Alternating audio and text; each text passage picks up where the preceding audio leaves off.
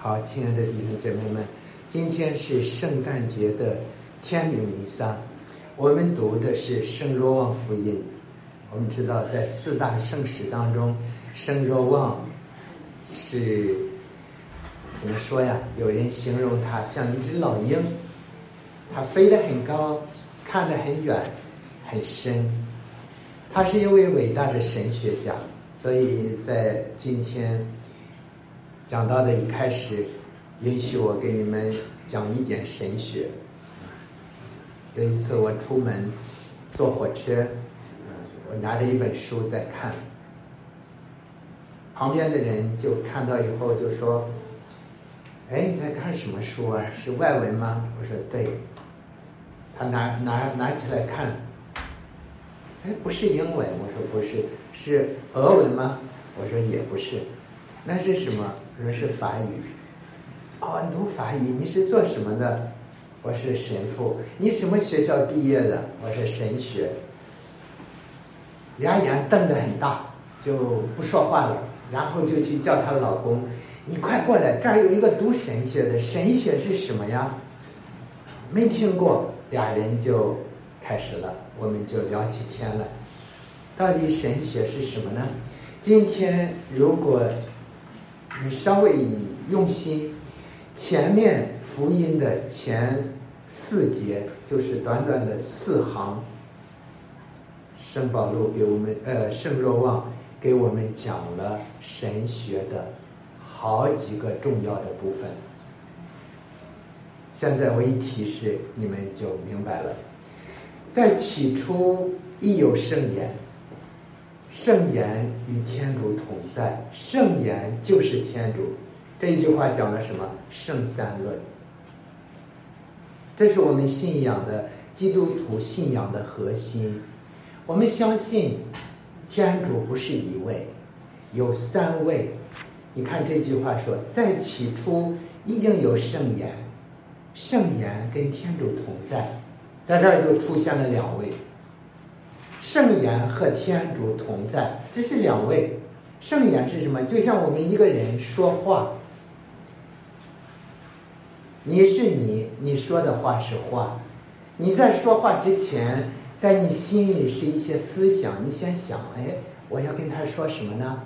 我今天讲道理，我讲什么呢？在心里有一些东西，这些东西我们称为思想，然后说出来，语言在表达。你里边的思想，圣若望就用这个词说：“圣言跟天主同在，天主是一位，这是他心里的话，心里的思想。可是是另外一位，他就是天主，他不是两个没关系，他是他，他是他，啊，彼此分离，对，但是他们是一体的。”要不后来圣若望又讲到第三位，这三位都是天主，这就是我们信的父子圣神，圣三论在这里，有一个学期甚至一两年的课，呃，圣神父之前都要学习天主圣三这一部分的神学，就是从这里开始。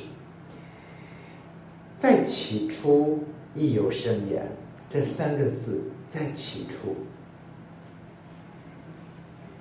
圣经你打开，第一页的第一句话，在起初天主创造了天地，用的是同一个字，中文这三个字，在起初。若望福音这儿的在起初跟创世纪第一句话的在起初是一样，但是不是一个意思。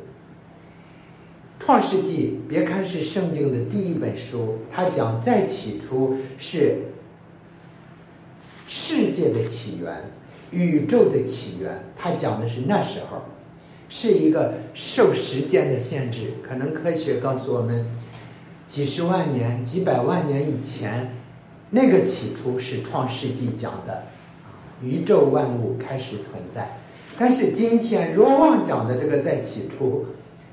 比那个起初早得多，早多少年？这个不受时间的限制，在起初就有圣言，一开始就有圣言，甚至没有什么都没有开始的时候，它是永恒的圣言，什么都没有就有它，这是那个起初啊，在起初就有圣言，什么都不存在就有圣言，所以这两个起初没有在一个层次。创世纪的起初是讲万物的起源，这个起初是讲一切存在的根本。所有的存在是因为有圣言从它来的，所以这里神学的另外一部分出来了，这叫什么创造论？宇宙万物都是从这个天主来的，天主是没有开始，没有结束，宇宙。这个物质的存在是有开始有结束的。凡受造的，看万物是借着它而造成的，在起初就有天主，没有别的。万物是借着它造成的，凡受造的没有一样不是借着它而造成的，在它内有生命。这生命是人类的光，在他内有生命。为什么他要来到世界上？他本身就是生命，他到世界上来要带给我们生命。这一部分神学叫什么？救赎论、救恩论。天主到世界上来救我们，为了让我们进入永生，这是神学的另外一个主要的部分。看，大部分的神学都在这里了。要不说若望，就短短的几句话，他像一只老鹰，飞那么高，看那么远。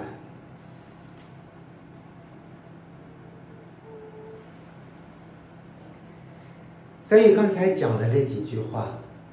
我想，我们还要留在马槽前，看到马槽里的这个婴儿。我们全世界正在庆祝的圣诞节，我们很容易想象，天主成了孩子，在我们中间这样一个小孩，从他身上我们要看到肉眼看不见的东西，肉眼看到的是一个孩子。很简单的，躺在马槽里铺着干草，在山洞里，旁边有他的父母。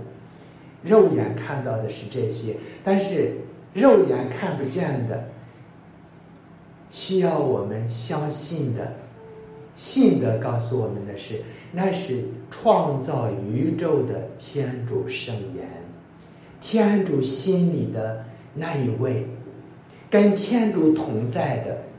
天主的儿子，天主派他到世界上来，现在进到这个孩子身上，也就是我们肉眼看到的这个孩子是宇宙的主，一切的原始。要不，有一天耶稣说：“谁看见我，谁就看见了父，谁就看见了天主，我就是那一位。”那一位是谁？在圣经当中有《若望福音》有著名的七个我是，我举例子你们就知道了。耶稣说：“我是善木，我是葡萄树，你们是枝条，我是羊的门，我是生命的食粮，都是我是。我是这两个字可不简单。为什么耶稣？”给犹太人就用这个，我是。我给你们讲，我是好像你看说话你就得这样说，我是张神父，没有什么特殊的。但是犹太人一听那个我是那俩字，那神经就绷紧了，他们不能听这两个字。我告诉你们为什么？梅瑟在旷野中放羊，突然。都是沙漠吧，天气很干燥。前面有荆棘丛着火了，他就到跟前去看热闹。走着走着，听到荆棘丛里边有声音说：“停下，脱下你的鞋，你所站的地方是圣地。”哇，见鬼了！一般中国人也说，一见鬼了，肯肯定得被那个鬼领走，所以吓得就我不见你啊，我不见，扑通就趴在下边，捂着眼，扣着脸，啊，我没看见你。然后这个声音就开始跟他对话，到最后梅瑟就问你是谁？你告诉我你的名字。那一位就说我是，我就是我是。我是原文的翻译是，我就是存在。是是一个动词，它的另外一个意思就是存在，啊，就英文里边那个 be being，，I am，我就是存在的那一位，我就一直存在着。你问我的名字，我就叫存在。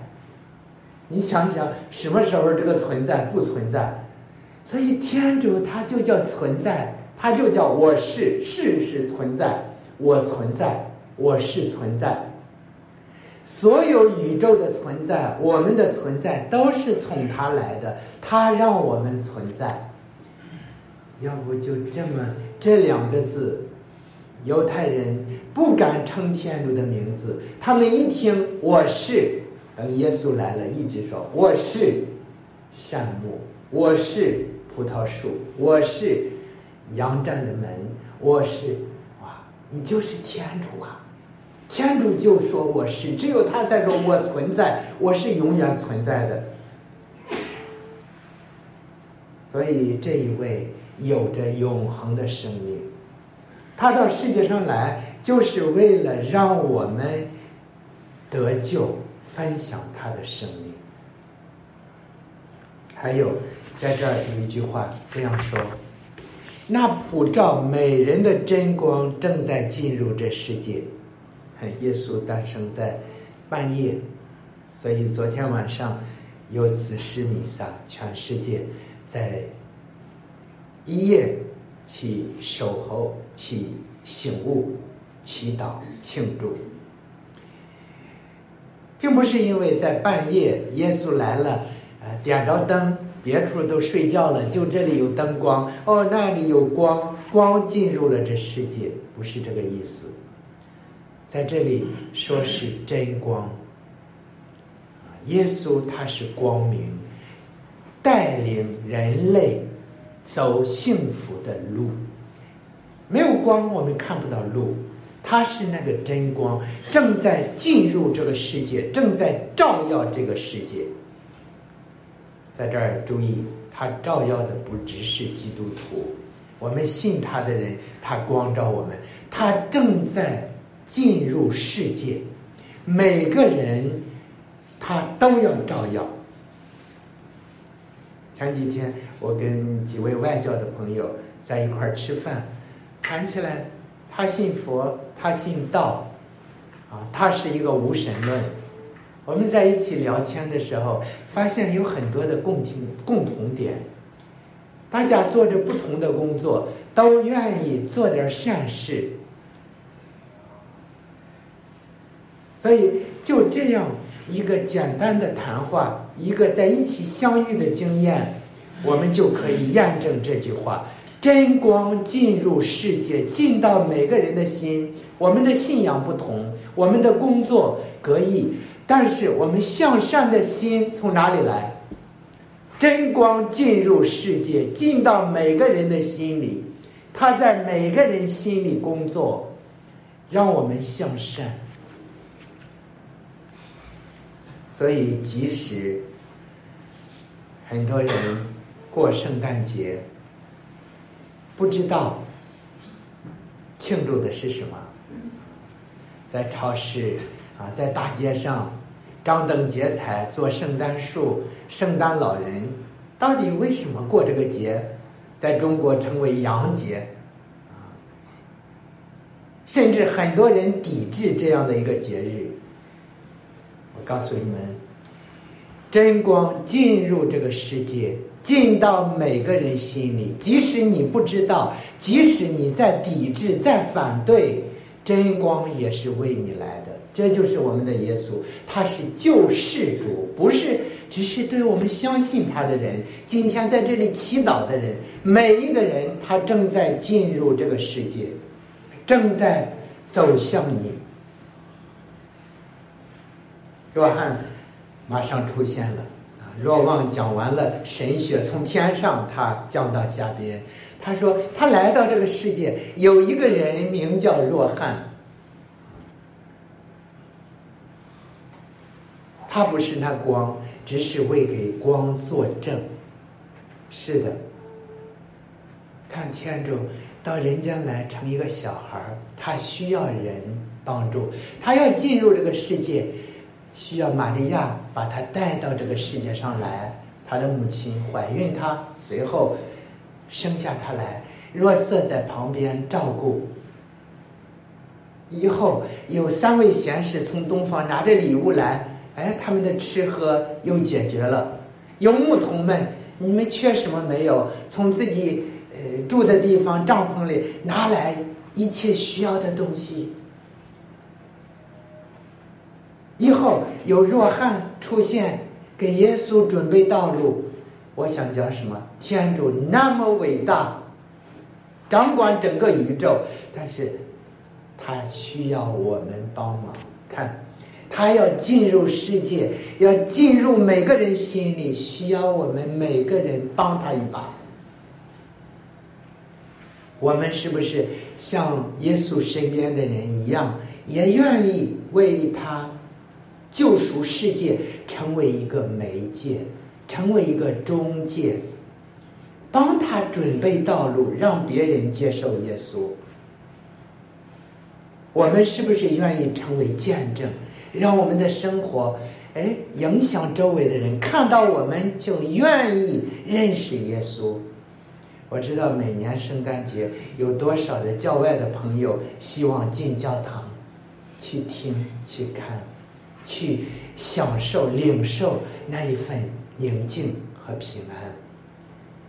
可能因着我们的榜样，因着认识我们，也愿意分享我们的救恩，多好！让我们继续作证。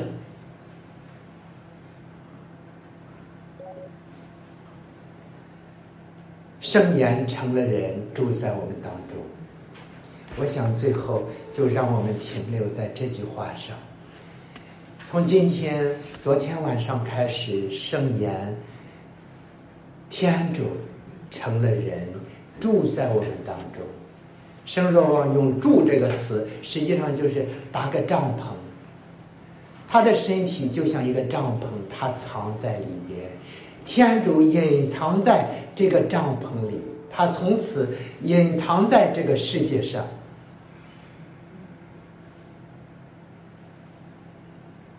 从昨天开始，天主来到这个世界上。每一次我们参与弥撒。天主来到这个世界上，我们领圣体，他来到我们心里更进一步。这么大节日，我们靠着直播，当然，我也希望，如果今天下午可以，至少堂区的人们能够领圣体，渴望跟接近我们的天主结合为一，他来找我们。天主住在圣体当中，这是最明显的独一无二的临在。同时，他还住在神父身上。可能很多人忽略了这一点。我告诉你们，每一次在行圣事的时候，神父是因耶稣的名在说话，在做事。要不然，神父怎么能够拿起面饼来说？你们大家拿去吃，这是我的身体，不是神父在说，是耶稣借着神父的口在说。所以神父啊，无论是中国人、外国人，老了还是年轻的，无所谓，都一样。天主借着神父，此时此刻在跟你们讲话。当在高解厅，你们到那里忏悔，是耶稣借着神父说：“孩子。”你的罪赦了，你平安回去吧。所以每一次在礼仪中是完全基督借着神父在说话，在做事。所以你看，天主来到人间。刚才我说，在圣体中，在圣事中，在神父身上。同时，当我们彼此相爱的时候，天主在我们中间。教会团体，天主在教会中。你们两三个人在一起，我就在你们中间。当我们吵架的时候，当我们犯罪的时候，真的天主就不在了。对不起，当我们相爱，你去帮助别人，天主在你心里推动着你，帮助着你。天主在这里，在我们中间。最后还有，昨天晚上我讲到贫穷的耶稣，贫穷的马槽。啊天主爱穷人，天主在穷人受苦的人身上，所以作为一个基督徒，过完圣诞节以后，我们一定要改变我们的目光，不能再像从前，啊，呃，看人分高低，啊，这个人有钱，这个人有是当官的，这个人将来我用得着，啊，我就对他特别客气，特别慌，啊，这个人穷的不行。啊，这个人就该死了，什么都做不了了，还在床上麻烦着别人，太讨厌了啊！等等，我们看人不要再分了。耶稣来，他是一个被遗弃的人，是一个大家瞧不起、谁都不接受的人，最后被钉在十字架上的一个罪人，人们向他吐吐嘛，站在下边骂他，那是耶稣。圣诞节以后，我们看我们身边的人，想一想有没有可怜的人、受苦的人、被人瞧不起的，我们基督徒转向他们，为他们做一点服务。耶稣活在他们身上，圣言成了人，住在我们中间，这是圣诞节的奥迹。